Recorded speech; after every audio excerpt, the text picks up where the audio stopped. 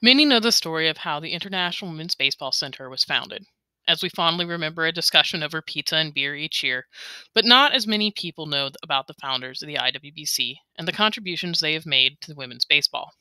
Of course, many of our founders have made other great strides, but their contributions to women in baseball have allowed the International Women's Baseball Center to make its mark and continue to do great work 10 years after their initial idea over a slice and a pint. Possibly the organization's most recognizable face, Maybelle Blair, has spent decades advocating for women's space in baseball history.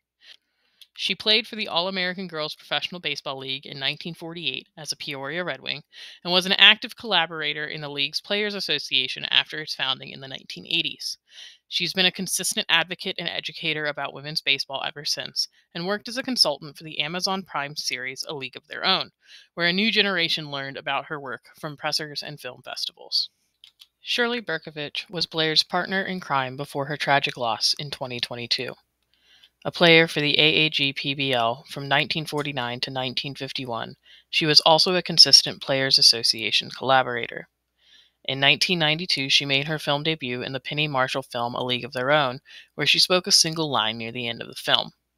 She also spent much of her life advocating and educating about women in baseball. Burkovich would also appear in the first episode of Amazon Prime's A League of Their Own alongside Blair in August 2022. An advisor to women in sports and entertainment, Donna Cohen has often been a fixture in spaces advocating and educating about women in baseball. She has continued to advocate for this space throughout her career, often organizing talent for special events. Cohen has worked with a variety of women's baseball organizations and has acted as a representative for women's baseball in other baseball organizations. A founder of the AAG PBL Players Association, Karen Kunkel played for the All American Girls Professional Baseball League in 1953 for the Grand Rapids Chicks.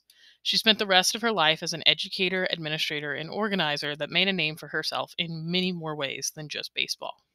Kunkel would act as a technical consultant for the 1992 A League of Their Own film and serve as a Goodwill ambassador in 2005 for a Japanese series played by the Lady Spirit Baseball All Stars team.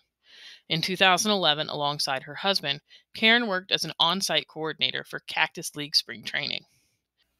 Jane Moffet played for the league from 1949 to 1952 and toured, making personal appearances for the Players Association after its founding.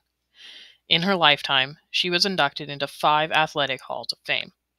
During her work with the AAG PBL Players Association, she became instrumental in securing the Women at Bat statue in the Cooperstown Gardens of Legends.